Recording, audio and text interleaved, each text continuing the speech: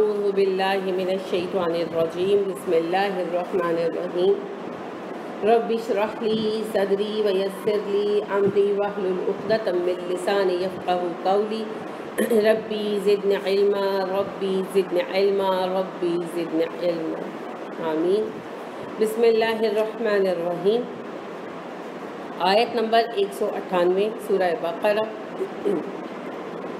व और आंफिकू खर्च करो। इम्पेरेटिव है अमर का सीगा है। फ़ी सबीलिल्लाही अल्लाह की राह में, सबील और अल्लाह को जेर दिया फ़ी ने। तो फ़ी हरफ जर है और सबीलिल्लाह इसमें मजरूर हैं दोनों। तो फ़ी सबीलिल्लाही मुरक्कब इशारी। सॉरी, मुरक्कब जारी, इशारी नहीं, मुरक्कब जारी। वाफ़िकू और ख़र्च करो, फ़ी सबीलिल्लाही अल्लाह की राह में, वला ना तुलकू, तुम डालो बी कुम अपने हाथों से, अपने हाथों से खुद एलत तहलुका हलाकत में, हलाकत की तरफ़। अपने आप को अपने हाथों से हलाकत में मत डालो। हलाकत क्या है? तबाही, बर्बादी। और उससे बचने का रास्ता क्या है? अल्लाह की राह में ख़र्च करो। आफिकू अब जानते हैं ना, इन्फाक क्या होता है? एक हाथ से आय और दूसरे हाथ से खर्च करना नाफाका किसको कहते हैं? चूहे के बिल को। या ऐसी सरंग को जिसके दोनों तरफ़ रास्ता होता है। एक तरफ़ से दाखिल हुआ, दूसरी तरफ़ से निकल गया। इसीलिए शलवार के नेफे को भी कहते हैं। तो अनफिकू का मतलब है, जितना मुमकिन हो सके खर्च करना अल्लाह की राह में दिल खोल कर खर्च करना इन्फाक फ़ी सबीलिल्लाह की बड़ी अहमियत है। रसूल अकरम वसल्लम ने फरमाया कि सदका अल्लाह के गुस्से को ठंडा कर देता है। इस तरह जैसे पानी आग को बुझा देता है। इसी तरह अल्लाह रब करीम के फ़ज़ल के मतलब रसूल अकरम सल्लल्लाहु ने क्या इरशाद फरमाया कि जब तुम किसी को सदका देते हो तो वो साइल के हाथ में जाने से पहले अल्लाह के हाथ में जाता है। और अल्लाह रब करीम उसको ऐसे परवरिश करते हैं सदक़े को, जैसे तुम अपनी भेड़ के बच्चे को करते हो। तो तुम्हारा आधा खजूर का टुकड़ा जो तुमने सदक़े में दिया हुस्न नीयत के साथ, क़यामत के दिन तुम्हें दो की रात बनकर मिलेगा। सहाबा ने कहा, अल्लाह के नबी सल्लल्लाहु अलैहि वसल्लम की रात क्या है? आपने कहा, ओहद पहाड़। यानी आधी खजूर अगर किसी ने हुस्न नीयत से सदका दी तो क़यामत के रोज़ वो कितना इजाफा पा चुकी होगी? दो ओहद पहाड़ के बराबर। ये है इन्फाक फ़ी सबीलिल्लाह की अहमियत। और आप सल्लल्लाहु अलैहि वसल्लम से पूछा गया कि एक ऐसा शख्स जो बहुत इबादत गुजार और बखील है, और एक ऐसा शख्स है जो इबादत तो फ़राइज़ की हद तक करता है, मगर बड़ा सखी है तो दोनों में से बेहतर कौन है? आप सल्लल्लाहु अलैहि वसल्लम ने फरमाया, वो सखी जो महज फ़राइज़ अदा करता है। तो अल्लाह के बंदों के काम आने से बड़ा कोई काम नहीं है। तो इन्फाक फ़ीस अभी बड़ी अहम चीज़। है रिस्क में बरकत के लिए उम्र फ़ारूक रज़ी अल्लाह कहते हैं, जब तुम्हें रिस्क में तंगी का एहसास होने लगे तो अल्लाह के साथ कारोबार शुरू कर। दो अल्लाह को आप एक देते हैं चीज़, अल्लाह पलटा के कम अज़ कम दस गुना देते हैं। ज़्यादा फिर अल्लाह ने सात सौ गुना गिनवाया और उससे ज़्यादा भी, जिसके लिए अल्लाह चाहें खुश नीयत और मुनहसर, है ना? तो लिहाजा इन्फाक फ़ी सबीलिल्लाह क्या है? अल्लाह की राह में हलाल रिस्क को हुस्न नीयत के साथ खर्च करना। रोटी, खाना, कपड़ा, पानी, पैसे, दवाई, किताब, चादर, बिस्तर, कुछ भी हो सकता है। सब चीज़ें इन्फाक में आ जाती हैं। ठीक है? और इन्फाक ख़ास तौर पर माल के लिए होता है। सदका का जब लफ्ज़ इस्तेमाल होता है तो वो तो फिर अच्छी बात भी सदका है। मुस्कुरा कर मिलना भी सदका है, सही मशवरा देना भी सदका है। सदका इन सारी चीज़ों में आ जाता है। सदक़े में सभी कुछ शामिल हो जाता है, क्योंकि सदका का मतलब है खूबसूरत बनाना। तो मुस्कुराहट भी तो हालात को खूबसूरत बना देती है ना। अच्छी बात से भी चीज़ें बेहतर हो जाती हैं, उमदा मशवरों से भी चीज़ें बेहतर हो जाती हैं। रस्ते से तकलीफ़ दे चीज़ हटा देना भी सदका करार दिया गया, है ना? लेकिन जब इन्फाक का लफ्ज़ इस्तेमाल होता है तो ये ख़ास तौर पर माल के लिए इस्तेमाल होता है। तो माल की सारी शक्लें, वो पैसा हो, वो चीज़ें हो, जो आप दे सकें। ठीक है? तो रिस्क में बेहतरी के लिए भी और गुनाहों की माफ़ी के लिए भी। क्या करना चाहिए? सदका करना चाहिए। मुसीबत आए तो भी अल्लाह की राह में माल खर्च करना चाहिए। क्योंकि जब आप इंसानों के काम आएँगे तो अल्लाह रब करीम हमारे काम आएगा। अल्लाह के रसूल सल्लल्लाहु अलैहि वसल्लम ने फरमाया कि जब तुम किसी मोमिन की एक ज़रूरत पूरी करते हो, अल्लाह तुम्हारी सौ ज़रूरियात पूरी करते हैं, तीस दुनिया की और सत्तर आखिरत की। और फिर एक और हदीस मुबारक में आप सल्लल्लाहु अलैहि वसल्लम फरमाते हैं कि जब तक बंदा अपने मोमिन भाई के काम में लगा रहता है, अल्लाह उस बंदे के काम में लगे रहते हैं। तो इसीलिए फिर इन्फाक जो है ना, वो बेहतरीन ज़रिया है अल्लाह की रज़ा हासिल करने का और रहमत हासिल करने का। जब कभी महसूस हो मुसीबत आ रही है, जब कभी महसूस हो कि परेशानी हो रही है, या कोई बीमारी चिपक गई है, जान नहीं छोड़ी, या कोई और मसला है तो उसमें फिर क्या करें? सदका करें। ये वो मुजरब तरीका है जो उलमा हमेशा से कहते, सुनते और सिखाते हैं। बीमारी आ गई या अपने रिश्तेदारों पर, अपने अज्जा पर सदका करो। हज़रत हसन बसरी से एक शाह साहब ने पूछा कि मैं गुनाह छोड़ना चाहता हूँ, लेकिन छूटते नहीं हैं। तो उन्होंने कहा कि रोज़ सदका किया करो। रोज़ सदका करो। उससे कहा कि यानी मैं नमाज़ के लिए जाता हूँ, मगर नमाज़ में खुशबू खुशू नहीं आता। और दिल नहीं लगता मेरा नमाज़ से, बस मैं मारे बाँध ही पढ़ता हूँ। उन्होंने कहा, हर नमाज़ से पहले कुछ ना कुछ सदका करो। कि जब अल्लाह तुमसे राज़ी होगा तो तुम्हारी ये कोताही जो है ना तो बहुत ख़त्म हो जाएगी। तो सदका जो है ना, इन्फाक फ़ी सबील्ला अल्लाह की राह में माल देना, इससे दो फ़ायदे होते हैं। एक, माल की मोहब्बत ख़त्म होती है, दूसरा, अल्लाह की मोहब्बत पैदा होती है, और तीसरा, मोमिनों की मोहब्बत पैदा होती है। क्योंकि जब आप माल खर्च करते हैं लोगों से मेल जोल होता है ना, आप जब पैसा देते हैं ना तो आप ज़रूर चाहते हैं कि हम ज़रूरतमंद को दें। फिर आप एक दूसरे के हालात पता करते हैं। तो उससे फिर एक दूसरे से मोहब्बत, ताल्लुक़ पैदा होता है कि अच्छा ये तो बड़ी मुसीबत में है। कोई बच्ची देख ली वही बेवा है, यंग लड़की है, उसके लिए दिल में एक मोहब्बत, एक हमदर्दी पैदा हो जाती है। कोई बुज़ुर्ग आदमी है, उसका बच्चा मर गया है, अब वो अपने बच्चे के बच्चे पाल रहा है, दिल में खुद ब खुद एक दिक्कत, एक मोहब्बत पैदा हो जाती है। तो इस तरह फिर एक दूसरे से मोहब्बत भी बढ़ती है। तो इसके कई तरह के फ़वाद हैं। ठीक है? तो इन्फा के फ़ी सबील्ला करने से क्या होगा? हलाकत से बचेंगे। हलाकत क्या है? दुनिया में, रसवाई और आखरत में जहन्नम। तो दोनों से बचने के लिए क्या करना चाहिए? सदका। अब सदक़े के लिए इन्फाक फ़ी सबील्ला के लिए ज़रूरी नहीं है कि हम एक लाख रुपया देंगे तो इन्फाक फ़ी सबील्ला होगा। अल्लाह के नबी सल्लल्लाहु अलैहि वसल्लम ने कहा, आधी खजूर का टुकड़ा। कि खजूर भी पूरी नहीं दे सकते। तंग दस तो खजूर भी पूरी नहीं दे सकते। तो खजूर का आधा टुकड़ा तुमने दे दिया ना तो वो भी अल्लाह के यहाँ कबूल किया जाएगा। शर्त क्या है? जिसके हलाल और हुस्न नीयत। और क़यामत के रोज़ कितना होकर मिलेगा? दो ओहद पहाड़ के बराबर, दो कीरात, दो ओहद पहाड़। इसी तरह आप सल्लल्लाहु अलैहि वसल्लम ने फरमाया, जहन्नम की आग से बचो। चाहे रोटी का एक नवाला या खजूर का एक टुकड़ा देकर बचो। ये नहीं कहा पूरी खजूर दो, एक टुकड़ा देकर बचो। जो दे सकते हो, वो तो दो ना हम ये कहते हैं, मैं कि दे सकती मैं आप पानी का एक गिलास भी नहीं किसी को दे सकते। चाय का एक कप नहीं दे सकते। रोटी पकाओ तो एक रोटी दे दो किसी को। है ना? तो एक साहब यानी बुज़ुर्ग मतलब ये कि ख़तीब थे मस्जिद के तो उनसे कभी खातून ने अपने मसाइल के बारे में बात की कि रिस्क बड़ी तंग है। तो उन्होंने कहा, आप सदका किया करें। उन्होंने कहा, जी, मैं तो बहुत तंग दस्त मैं तो कोई सदका नहीं कर सकती। तो उन्होंने कहा कि आप खाना खाने के बाद जो बचे हुए रोटी के टुकड़े हैं ना, उनके वो बोरे करके, बोरे कहते हैं पंजाबी बोरे करके छोटे छोटे टुकड़े करके चिड़ियों को डाल दिया। इनके आप इतना भी नहीं कर सकते। कुछ ना कुछ तो आप कर ही सकते हैं ना।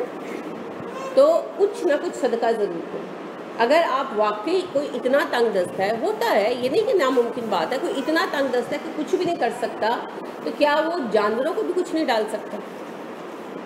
पानी ही डाल के रख लें सदका तो हर एक चीज़ आपको पता है, अफजल तरीन सदका पानी का सदका तो आपको पता है, गर्मियों में हमारे यहाँ तो बिल्लियों, कुत्तों को कोई भी नहीं पूछता ना, जो स्ट्रे कैट्स वगैरह हो। तो उनके लिए पानी ही रख दें, ये भी सदका क्योंकि रसूल अक्रम सल्लल्लाहु अलैहि वसल्लम ने जब ये हदीस बयान की कि एक यहूदी औरत जो थी, उसने एक बिल्ली को बाँध कर भूखा मार दिया तो जहन्नुम में डाली गई और एक खातून जो थी, उन्होंने कुत्ते को देखा कि वो प्यास से मर रहा है। तो उन्होंने उसको पानी पिला दिया तो अल्लाह ने उसके सबका गुनाह माफ़ कर दिया, और ये बात आप अक्सर बयान करते थे। तो एक सहाबी जो हाथ से आए थे, उन्होंने कहा, अल्लाह के रसूल सल्लल्लाहु अलैहि वसल्लम जानवरों के काम आने से भी सवाब होगा। आपने फरमाया, हर जी रूप की काम आने से सवाब होगा। तो जी रू में तो आपके पेड़ पौधे भी शामिल जी रू है ना? हर एक चीज़ के काम आने का चाहिए तो जो कर सके वो करें। बचा हुआ सालन हड्डियाँ जो हैं, वो आप बिल्लियों को डाल सकते हैं। क्योंकि हमारे यहाँ तो वो बिल्कुल ही अल्लाह तो अक्ल बेचारे बिल्लियाँ वगैरह रहती हैं। तो आप बचा हुआ सालन, बची हुई चाय, दूध, ये उनको डाल सकते हैं। एक साहब बयान करते हैं कि मैं अपने एक दोस्त के घर गया, उनके वालिद बड़े मुत्तकी आलम हैं। तो कहते हैं, मैं उनके घर गया, खाना वगैरह खाया, खाने के बाद सब कुछ ना कुछ करने लगे, बर्तन उठाने लगे चीज़ें। तो कहते हैं, मैं भी उठा, मैंने कहा, चलो मैं दस्तर खान उठा देता हूँ। तो उनके वालद कहने लगे, नहीं नहीं दस्तर खाना आप रहने कहते मैंने इसरार किया कि नहीं, मैं भी उठाता हूँ। तो वो कहने लगे कि अच्छा फिर आपको दस्तर खान उठाना आता है, झाड़ना आता है। कहते मैंने कहा दस्तर खान झाड़ने का भी तरीका होता है? तो उनके मेरे दोस्त वाले कहने लगे हाँ वो भी तरीका है। कहते मैंने कहा, आप बता दें। तो उन्होंने कहा कि हड्डियाँ जो हैं, हम इकट्ठी करके बाहर एक डब्बा रखे उसमें डाल देते हैं, कुत्तियाँ कुत्ते बिल्लियाँ खा जाते हैं। और ये जो है, इसके ऊपर बचे हुए रोटियाँ वगैरह, दाने छोटे छोटे बिल्कुल छोटे दाने, चूरा वो हम बाहर जो है बाग में एक कोने में डाल देते हैं, उधर चूंटियों का बिल है तो चूंटियाँ ले जाती हैं। और ये जो बड़े टुकड़े हैं, ये हम ऊपर मुंडेर पे डाल देते हैं तो परिंदे खा जाते हैं। अब आप मुझे बताएँ कि सारा कुछ तो फेंकना ही है ना? फेंकना तो है, लेकिन अगर इस तरह फेंका और अल्लाह के मखलूक ने खाया तो अजर है तो मुफ़्त का अजर है। है ना? तो फिर आप क्या करना चाहिए आपको? आप सब अपने अपने घरों के बाहर एक एक डब्बा रख लें। और खाना हमारे घरों में रोज़ ही गोश्त पकता है, क्योंकि हमारे मर्द हजरात गोश्त के बगैर नहीं चलते, हैं ना? तो उसमें आप बची हुई हड्डियाँ डाल देंगे ना खाली तो वो बिल्लियाँ बेचारी आके खा लेंगी, है ना? और आपको अजर होगा, रोज़ का अजर होगा। और मुफ़्त का। वो कहते हैं ना कि हींग लगे ना फटकरी और रंग आए चोखा। तो वो भी अल्लाह की मखलूक है। तो इनफाक के बेशुमार तरीके हैं। आप किसी भी तरीके से इनफाक फ़ी सभी कर सकते हैं। ठीक है? और इन्फाक ना करने का मतलब क्या है? अपने आप को हलाकत में डाल दो। क्योंकि अल्लाह ने कहा, इन्फाक करो और अपने आप को हलाकत में ना डालो। तो जो इन्फाक नहीं करता, फिर वो क्या करता है? हलाकत में डालता है। तो इन्फाक ये नहीं है कि करोड़ों की आमदनी है और बच्चों को ईद पर जो है वो दस दस हज़ार और पचास पचास हज़ार गिफ्ट में देते हैं और जब अल्लाह के नाम में देने की बारी आती है तो अल्लाह दो हज़ार रुपया। ये इन्फाक नहीं है। नफाका का मतलब पता है ना? दोनों तरफ़ खुले मुँह की सरूर तो इसका मतलब क्या है? एक हाथ से आए, दूसरे हाथ से जाए, खुलकर खर्च करना कम अज़ कम जितना आप अपने खुशी के मौाक़ों पर अपने घर में खर्च करते हैं, उतना तो आप दे अल्लाह की राम ठीक है? तो खुले दिल से खुले हाथ से खर्च करो। मजीद क्या फरमाया? वाह अहसिन। अच्छा अब देखिए, ये सारी नेकी की शक्लें आ रही है ना अल्लाह ने कहा कि नेकी ये नहीं है कि तुम घर के बैक साइड से घर में दाखिल हो। नेकी ये है कि तुम तकवा अख्तियार करो फिर मजीद क्या इर्शाद फरमाया? अल्लाह के नाम में जंग करो और अब कहा, अल्लाह की राह में माल खर्च करो। वह अहसिन और एहसान करो। एहसान क्या है? हुसन की अला तरीन शक्ल। खूबसूरती की अला तरीन शक्ल। जो काम करो, उसको बेहतरीन करो। लोगों के साथ बेहतरीन सलूक करो। बात करो तो बेहतरीन करो। काम करो तो आला तरीन तरीके से करो। क्योंकि रसूल अकरम वसल्लम ने रिशाद फरमाया, तुम जो भी काम करो, उसे कमाल तक पहुँचाओ। ठीक है? तो अहसन होता है हुसन की मुकम्मल तरीन शक्ल। तो हुसन में एहसान में पहली चीज़ तो आ गई, एक दूसरे के साथ एहसान करना। अल्लाह ने कहा ना, अपने वालदेन के साथ एहसान करो, रिश्तेदारों के साथ करो, यतीमों के साथ करो। क्या है? आला तरीन रवैया पेश करना है। जो आपके नज़दीक आला तरीन रवैया है, वो करना है। माँ बाप औलाद, बीवी, ये तो बरह रास्त रिश्ते हो गए। फिर उसके बाद बहन भाई क्योंकि ब्याह जा ब्याह के बाद सब अलग अलग हो जाते हैं ना अलग अलग घर बन जाते हैं। बहन भाई अपने माँ बाप के, अपनी बहुएँ, सासें, दामाद सास ससुर उसके भी, ये सब रिश्ते आ जाते हैं। ये सारे रिश्ते किस चीज़ के मुतकाजी हैं? बेहतरीन सलूक के। जिसे आप बेहतरीन सलूक समझते हैं। फिर उसके बाद आपके हमसाए, आपके दोस्त, आपके अहबाब यहाँ तक के साथ बैठने वाला रसूल अक्रम सल्लल्लाहु अलैहि वसल्लम का तुम्हारे साथ बैठने वाले का भी तुम पर हक है। कौन साथ बैठता है? क्लास में जैसे आप साथ बैठे आप सफ़र में, बस में जो आपके साथ बैठा है, सबके हकूक़ हैं। एक मतलब आप सल्लल्लाहु अलैहि वसल्लम के साथ जाबर रज़ी अल्लाह थे आपने कहा जाबर मिसवाके तो तोड़ो। जाबर रज़ी अल्लाह ने दो मिसवाके तोड़ी। एक थोड़ी सी टेरी थी। आपने टेरी मिसवाक ली। जाबर कहने लगे कि मेरे माँ बाप आप पर कुर्बान आपकी सीधी मिसवाक ले ले।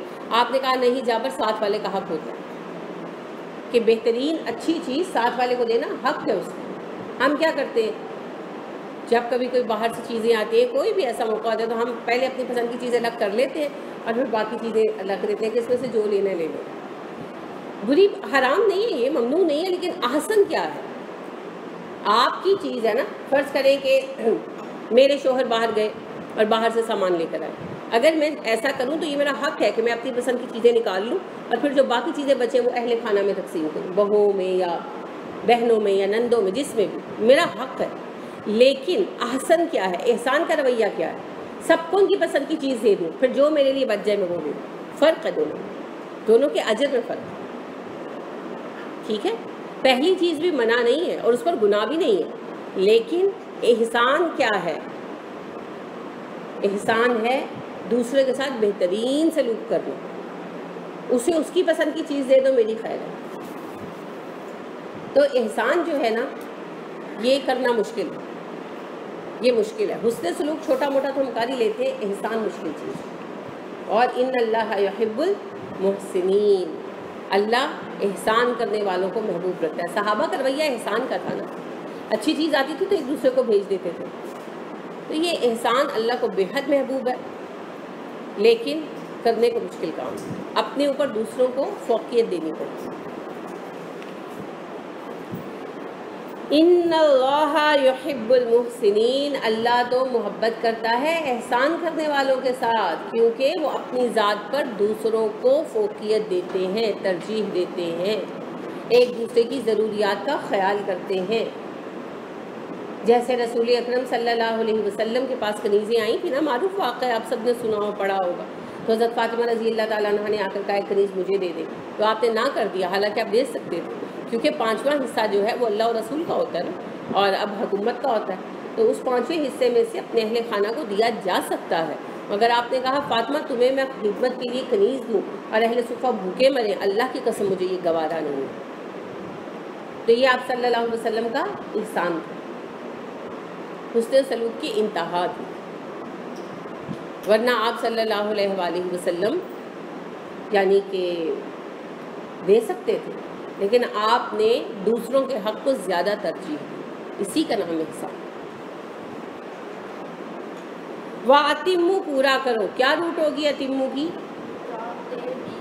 शाबा शाहसंती। ते मीम मीम। तमाम की रूट ते मीम मीम होती है।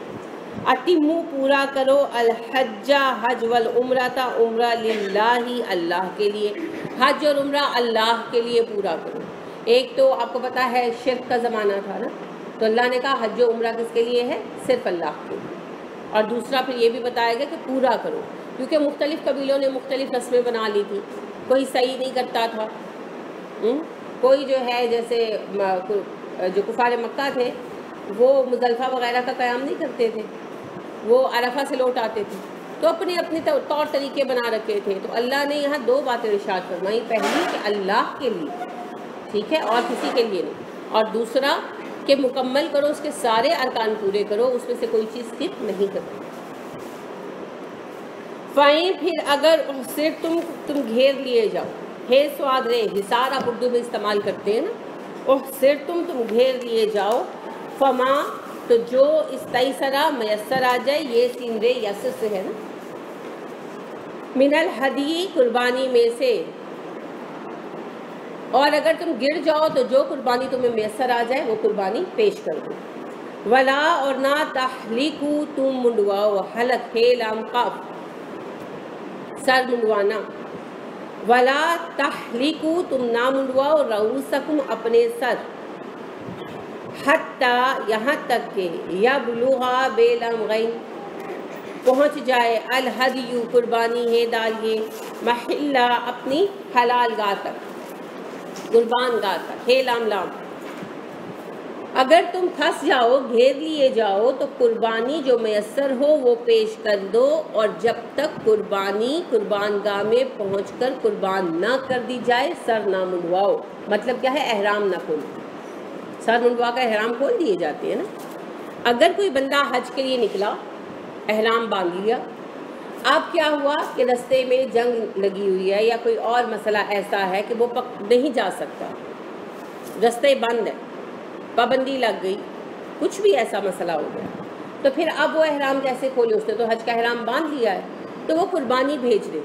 उन लोगों के ज़रिए जो वहाँ जा सकते हैं, जैसे आजकल आप वहाँ मौजूद किसी बंदे को पैसे दे दें, उसके अलावा ऑनलाइन बैंक में भी जो है वो हो सकता है क्या पैसे जमा करा दें, कुर्बानी का आपको टाइम दे देते हैं। तो अब जब कुर्बानी के कुर्बान हो जाने की इतला पहुँच जाए, आपको कि कुर्बान हो गई, क्योंकि वो टाइम दे देते हैं अब तो। तो फिर जो है अहराम खोले और सर मुंडवाए तो हज का सवाब मिलेगा, हज हो गया। ठीक है? फिर अगर बाद में हालात बेहतर हों और दोबारा पैसे हों, तोफ़ीक हो तो जाकर कर ले। नहीं तो आपका हज हो गया, क्योंकि आप तो हज के इरादे से निकले थे। अब ये तो एक आजमाइश आ गई। लेकिन उसमें भी फिर उसूल क्या है कि कुर्बानी भिजवा दें। और जब मीना वाले दिन कुर्बानी कुर्बान हो जाए, अगर तो हज के लिए बांधा। तो जब कुर्बानी हो जाए तो फिर उसके बाद अहराम खोले। और अगर उम्र है तो उसके लिए तो फिर आपने अगर कुर्बानी का इरादा किया है तो आप भिजवा दें, और अगर नहीं तो फिर कोई बात नहीं। क्योंकि उम्र तो नफल है। उम्र की कुर्बानी जो है, वो भी नफल है। फमन जो कोई काना हो मिर कुम तुम में से मरीज़न मरीज़, औ या भी उसके साथ अजन तकलीफ़ हो मिर राशि ही सर में। फ़िदियातुन तो फिदिया देना है, मिन सोयामिन रोज़ा और सदाकतिन या फिर सदका और नूसुकिन या फिर कुर्बानी।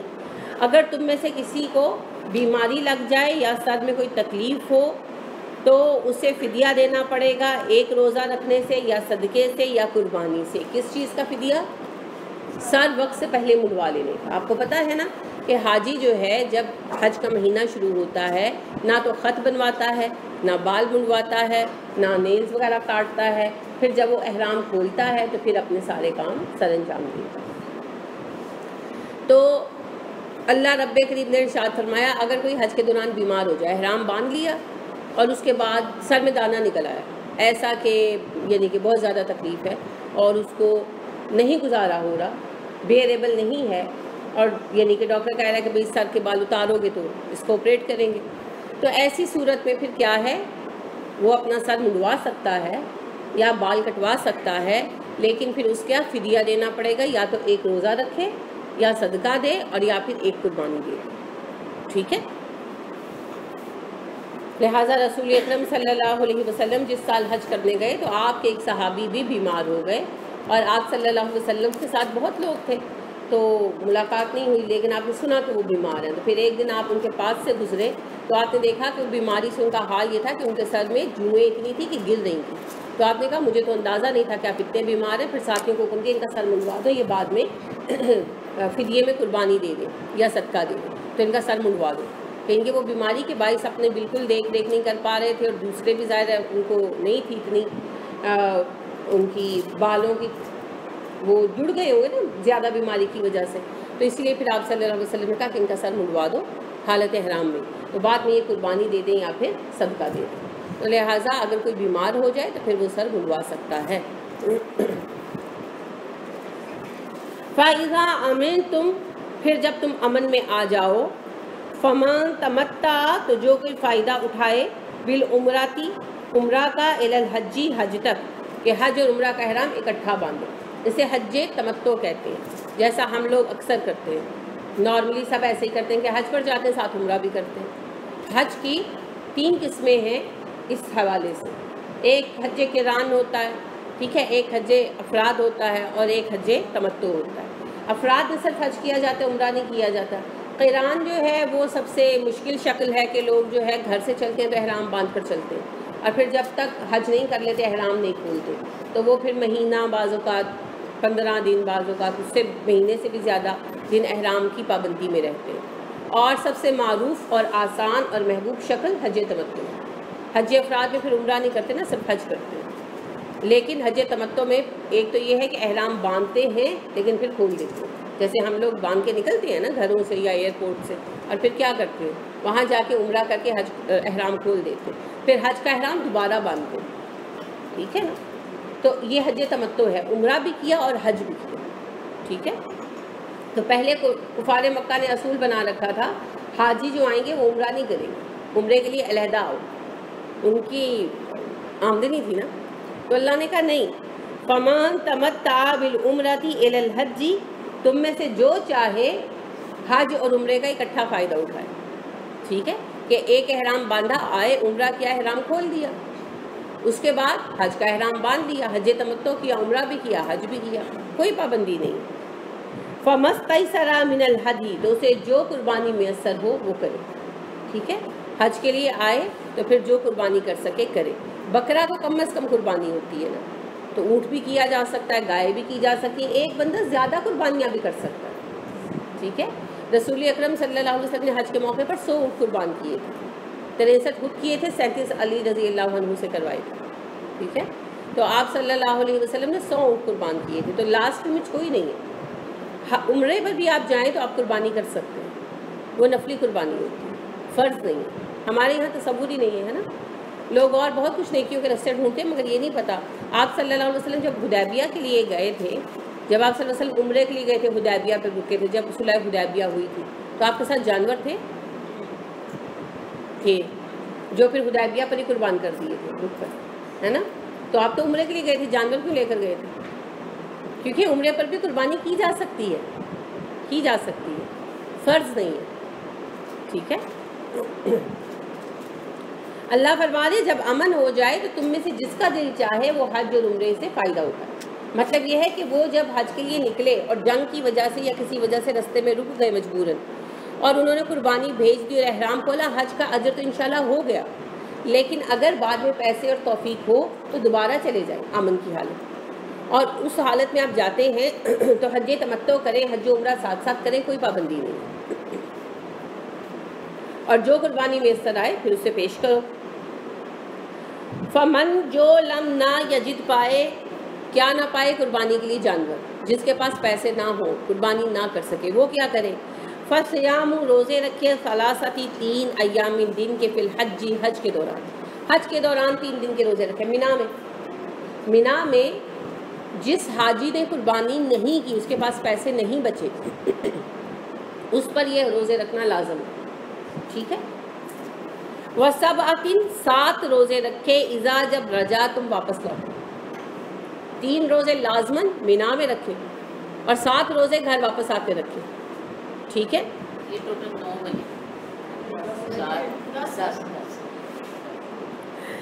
का ये हो गए अशरा तुम दस का मिला तुम पूरे। ये पूरे दस रोज़े हो गए। आपकी गिनती ख़राब हो गई।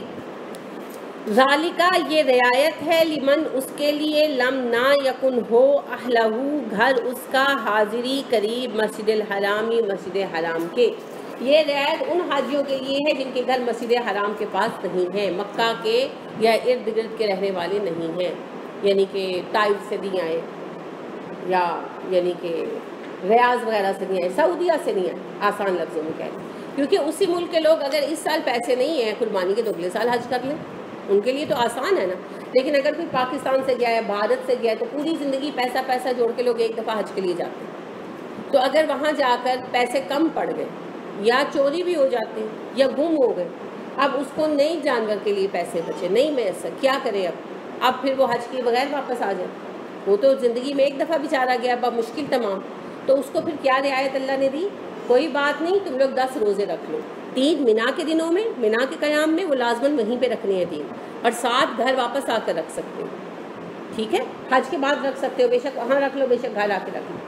और अल्लाह ने कहा, ये रियायत अहले मक्का और इर्द गिर्द के शहरों वालों के लिए नहीं है, जो हर साल आ सकते हैं। क्योंकि आप देखें, उनके लिए अगर कोई रियाज से आता है तो कितना खर्चा है? बस में बैठकर उसने आ जाना है मक्का और उनके सिर्फ़ कुर्बानी कुर्बानी का ही खर्चा और क्या खर्चा है? उनका तो कोई खर्चा नहीं अखराज तो हम जैसे लोगों के लिए है। इसलिए फिर अल्लाह ने कहा, रियायत जो है वो गैर मुल्कियों के लिए है, जो खुद सऊदिया के रहने वाले हैं और अगले साल आ सकते हैं, उससे अगले साल आ सकते हैं तो कोई बात नहीं, वो फिर अगले साल करें। उनके लिए कोई रियायत नहीं। ये बात, ठीक है? ये रियायत बाहर से आने वालों के लिए। क्योंकि वो बेचारे पूरी ज़िंदगी में कोशिश करके एक आध दफ़ा ही आते हैं। जब मैं हज पर गई तो मेरी एक खातून से मुलाकात हुई, बहुत बूढ़ी बुज़ुर्ग खातून थी। सेवेंटी प्लस होंगी। तो उनके बेटे ने उन्हें हज पर भेजा था। तो मैं, यानी कि मैंने देखा कि वो अपने लिए चाय बना रही थी और अंडा बॉईल कर रही थी तो मुझे लगा कि जैसे वो काँप रही है। तो मैंने उन्हें, यानी छुआ तो उनको बुखार था। तो मैंने कहा कि मैं आपको बना देती हूँ तो बड़ी शुक्रगुजार हुई तो मैंने फिर बाद में से पूछा, मैंने कहा, आप अकेली आई हुई हैं? तो कहने लगी हाँ बेटे, मैं अकेली आई हूँ। मैंने कहा, किसके साथ? कहने लगी, हम सायों के साथ। तो वो सारे चले गए। हैं पूरी फैमिली थी, वो वो सारे चले गए। हरम चले गए। तो मैंने कहा, आपके साथ कोई नहीं आया। तो कहने लगी कि मेरे बेटे ने बड़ी मुश्किल से मुझे भेजा। तो उन्होंने ज़्यादा बात तो नहीं की, लेकिन मकसद वही था कि उनके बेटे ने पता नहीं कहाँ से पैसे करके माँ को भेजा। अगर उसके लिए मुमकिन होता तो खुद साथ आता, या किसी बहन या किसी और को भेजता। उसके पास इतने पैसे ही मुश्किल हुए होंगे कि अपनी माँ को भेज दो। तो लिहाजा अब वो जो हमसाए थे, उनसे भी गलती हुई। अल्लाह उनको माफ़ करे कि वो हरम में चले गए बीमार औरत को, बूढ़ी औरत को, अकेला छोड़ गए, जिसको ज़िम्मेदारी पर लेकर आए थे। अब वो जो है, वो वहाँ पर अकेली थी अब इससे अंदाज़ा लगाएँ कि अपनी बूढ़ी माँ को कौन अकेला भेजता मजबूरी के अलावा कि पता नहीं फिर इतनी बूढ़ी हैं खोत ही ना हो जाएँ, हज कर लें, अब और ज़राए नहीं तो ये जहाँ सूरत हाल हो, उन लोगों के लिए रियायत है कि वो फिर कुर्बानी नहीं कर सकते तो कोई बात नहीं, हज मुकम्मल हो जाएगा, दस रोज़े कफारे के रखें, ठीक है? वत्तकुल्लाह, अल्लाह से डरो। फिर बात वहीं पर आ गई, जहाँ से चली थी। बात यहाँ से शुरू हुई थी ना, घरों के पिछवाड़ों से दाखिल होना, नेकी नहीं, नेकी क्या है? लिमन इत्तका, जो तकवा अख्तियार करे। अब फिर बात वहीं पर आ गई। ये सारा कुछ करो, और साथ क्या करो? इत्तकुल्ला, अल्लाह से डरो। वालम जान लो अन अल्लाह बेशक अल्लाह है शदीद, सख्त निकाब पकड़ करने वाला, अल्लाह सख्त पकड़ करने वाला इन सारे मामला में अल्लाह से डरते रहो। असल चीज़ ये है, तकवा अख्तियार करो। किसी को हज की सादत मिलती है, किसी को नहीं मिलती। नहीं होते ना पैसे, ख्वाहिश करते रह जाते हैं, ऐसे ही मर जाते हैं। मेरी एक अजीज़ा जो है, उन्होंने वफात पाई कुछ अर्सा पहले। तो पासपोर्ट बन गए उनके हज के। एंड शी डाइड कोई क्या कर सकता है? अल्लाह का हुक्म है। किसी को सादत मिल जाती है, बैठे बिठाए। कई लोग आपको ऐसे मिलेंगे जिन्होंने कहीं कहीं हज कर रखे हैं। हम जब हज पर गए तो हमारे साथ एक साहब थे यानी तो वो चौदहवीं दफ़ा हज करने जा रहे थे। हुँ? अपना अपना नसीब है ना? तो ये बात नहीं है। ये अल्लाह की तकसीम है। बाज़ अवत इम्तहान होता है, बाज़ अवत और वजूहत होती हैं। वो अल्लाह ही जानता है, वो हम नहीं जानते। असल चीज़ क्या है? हज करना अपने अख्तियार में नहीं है ना? आपके पास पैसे हैं, आप कोशिश कर सकते हैं, फिर उसके बाद बाकी सब तोफ़ी अल्लाह की तरफ़ से मिलती है। लेकिन तकवा अपने अख्तियार में है ना? तकवा तो हम अख्तियार कर सकते हैं ना खुद। तो लिहाजा अल्लाह फरमाते हैं, ये सारी इबादत तो ज़रिया है तुम्हें अल्लाह का बंदा बनाने की। और अल्लाह का बंदा बनने का असल फार्मूला क्या है? तकवा। तो तुम तकवा अख्तियार करो मुतकी बनो, ये असल बात। है और याद रखना अल्लाह सख्त पकड़ करने वाले। ठीक है? तो अल्लाह रब करीम की पकड़ से बचने के लिए क्या करें? तकवा अख्तियार करें। असल चीज़ ये है, अल्लाह ने बड़ी बड़ी नेकियाँ भी गिनवा दी इबादत में से। और साथ दोहरा कर बता भी दिया कि असल नेकी तो फिर तकवा है। कोई हज पर गया दिखावे के लिए तो क्या फ़ायदा? है ना? हज पर गया टाइटल के लिए, हाजी फलां फलां, नेम प्लेट भी चेंज हो जाती है। क्या फ़ायदा? हज पर गए और वापस आकर वही ब्लैक मार्केटिंग कर रहे हैं। क्या फ़ायदा? जिसम की कमाई से हज पर गए और वापस आके फिर वही फ़िल्म प्रोडक्शन का काम हो रहा है और एक्टिंग का काम हो रहा है तो क्या फ़ायदा? कोई फ़ायदा नहीं है ना। अल्लाह के साथ मज़ाक करने की ज़रूरत नहीं है। स्मगलिंग के पैसे से गए और आकर फिर स्मगलिंग का धंधा चल रहा है। रिश्वत के पैसे से गए, फिर आकर रिश्वत का पैसा लिया जा रहा है। तो क्या फ़ायदा? कोई फ़ायदा नहीं। अल्लाह को सबसे ज़्यादा क्या महबूब है तकवा। तो कम अज़ कम हज के बाद ही तकवा अख्तियार कर क्योंकि नया नामा अमाल लेकर आए ना तो उस नामा अमाल को समेटें, संभालें। तो अल्लाह रब करीम फिर हमें तकवा अदा फरमाए। क्या दुआ है इसकी? अल्लाहुम्मा इन्नी असअलुका वल इफ़ाफ याद नहीं हुई अभी तक चार चीज़ें हैं। बड़ी खूबसूरत दुआ है, रसूल अक्रम वसल्लम की दुआ है। अल्लाहुम्मा इन्नी असअलुका वन्नुका वल इफ़ाफ़ु वल गिना चलिए, बाद में आपको लिखवा दूँ। याद कीजिए, खाली आप किसी एक चीज़ के लिए भी पढ़ सकते हैं। यानी जैसे आप तकवा के लिए खसूसियत से अल्लाहुम्मा इन्नी असअलुका अल्लाह में आपसे तकवा मांगती हूँ। इतना भी पढ़ सकते हैं। पूरी पढ़ ले तो भी अच्छा। ठीक है? तो तकवा अल्लाह रब करीम से मांगना चाहिए, मांगने से मिलता है, मुफ़्त ही मिलता। है